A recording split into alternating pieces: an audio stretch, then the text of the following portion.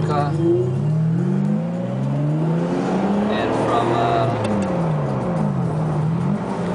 you know different parts of the world.